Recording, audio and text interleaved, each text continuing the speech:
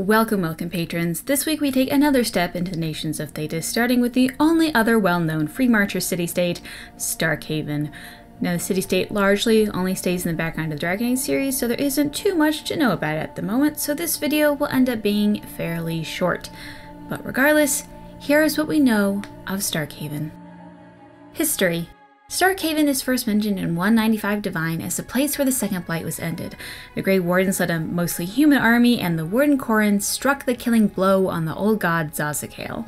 About 20 years later, in 215 Glory, Starkhaven's current king, Pyrrhus, led a series of military campaigns to unite the Free Marches under the banner of Starkhaven. This attempt was also backed by Tevinter. The remaining city states banded together and were able to drive King Pyrrhus away, to which he then attempted to invade Antiva in 233 Glory. This also failed.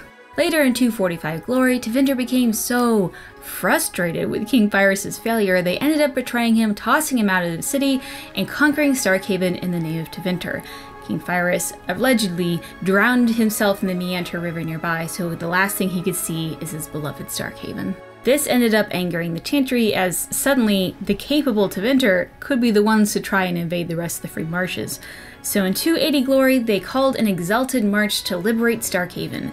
This exalted march was short, but known to be very bloody. And while this particular fact doesn't have a date attached to it, I believe that this happened in between King Pyrrhus and the next important date, but it might have been later or even earlier, I'm not quite sure. So at one point, Starkhaven lacked a leader. Several warlords took over the place, one toppling the other in quick succession.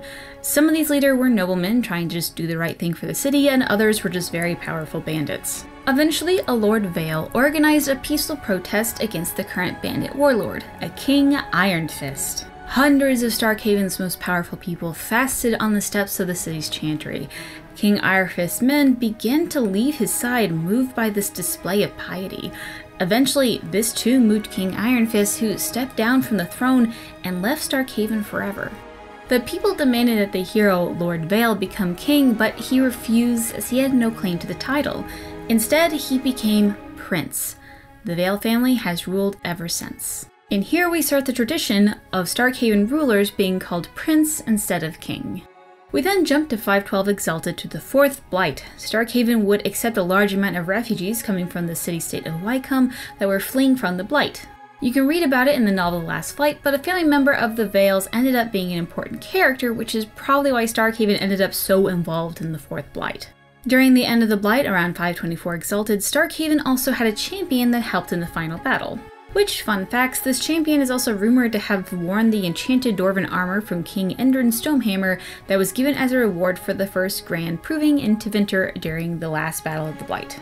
So then we jump to 756 Storm during the invasion of the Qunari when the Qunari launched attacks to Starkhaven, Ostwick, and Kirkwall. Kirkwall will be taken over by the Qunari, but Starkhaven and Ostwick manage to drive them away. We jump again to 931 Dragon, where we learn that the Circle of Magi in Starkhaven is somehow burned down. This accident caused many mages to escape the circle. Currently, the circle tower has yet to be rebuilt, and its mages house in other nearby circles, including Kirkwall's. And unrelated, in that same year, almost all of the ruling family of Starkhaven, the Vaels, are murdered.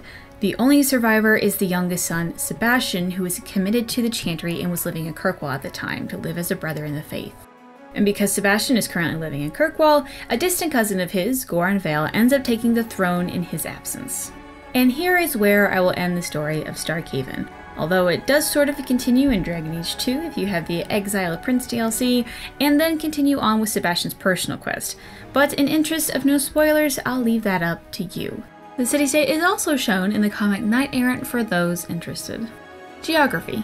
Starkhaven is located in the Meander River, and I mean in the Meander River as the river flows around it. Starkhaven is by far the largest and wealthiest city-state in the Free Marches, the city-state is completely surrounded by large walls, and inside it more circular walls. The main palace is described as being very fancy, with large estates, fountains, granite pathways, and much much of the city is made of marble and gold. Politics. We know little about Starkhaven politics other than the Vael family being the ruling line, and that all leaders of the city-state keep the title of prince rather than king. But I want to talk about the title of prince because there are a lot of errors surrounding it. Well, in the history section, I placed the story of King Pyrrhus before the Vaels came into power. There is one single source that labels Pyrrhus as Prince Pyrrhus. That source being an item description in Dragon Age Inquisition. The original source of the story of Pyrrhus is the Codex in Dragon Age 2, which gives him the title of King. As the Dragon Age 2 Codex entry, it's also the source for the Prince as a title story. I'm more inclined to believe that the item description in Inquisition is an error. That being said, in World of Thedas, there is a small mention of a king, Audemar Vael. This means that either A, it's an heir, B, a Vael took the title of king anyway, or C, a Vael ruled Starkhaven before the family officially took power. While I'm more inclined to believe A, the choice is up to you. Jumping back to actual politics, Kirkwall is described as being the largest trading partner with Starkhaven. We also see Starkhaven act as almost the official powerhouse of the Free Marches, it seems that the city state is very, very aware of how powerful and wealthy it is compared to the rest of the nation. Culture.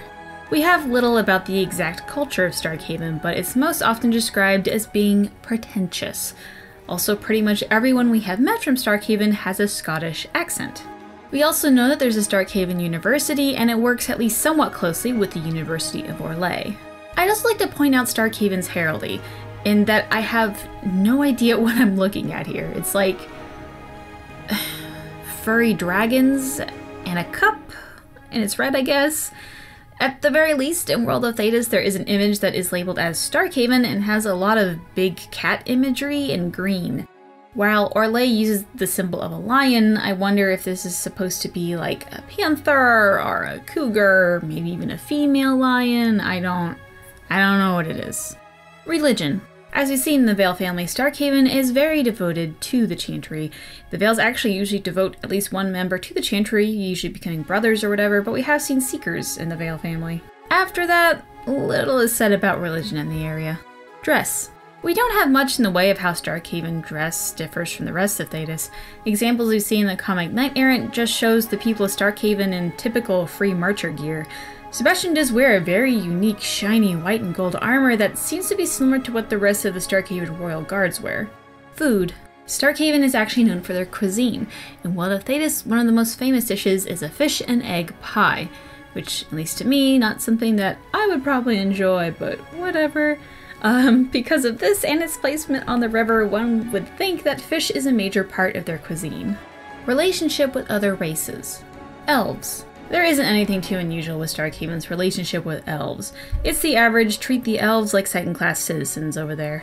Dwarves. Not much is said about Starkhaven and the dwarves, so I'm just going to assume the two have little interactions, although one particular dwarf isn't all too fond of Starkhaven. Qunari. As the Qunari once tried to invade the city-state and Starkhaven's devotion to the Chantry, I'm going to assume that there isn't a good relationship between the two. And that, dear patrons, is all that we know about the most pretentious place in Thedas, Starkhaven. Do you still have lingering questions, proof that I'm wrong, comments about your own fan theory? Feel free to tweet me at, at on Twitter or send a PM to user Ghilannain on Reddit. Dareth shiral.